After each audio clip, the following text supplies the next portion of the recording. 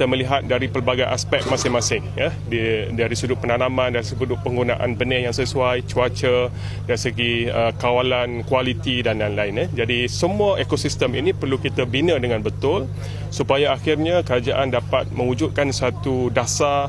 uh, penanaman jagung bijian yang kukuh yang jelas supaya industri player dapat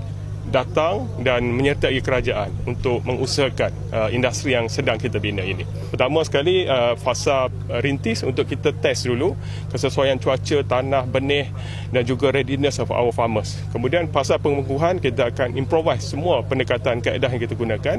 termasuk menggunakan teknologi terkini IoT, uh, internet routing, uh, all the drones dan machinery yang betul, mekanisasi dan automation ya. Kemudian fasa pengembangan kita akan perluaskan penanaman ini kepada bukan sahaja di kawasan Cuping ini tetapi uh, seboleh mungkin di semua kawasan yang kita zonekan tadi zon 1 uh, kebanyakan terdapat di Kedah dan Perlis Kelantan uh, Terengganu dan Johor jadi kawasan-kawasan ini berpotensi besar disebabkan cuacanya yang baik eh.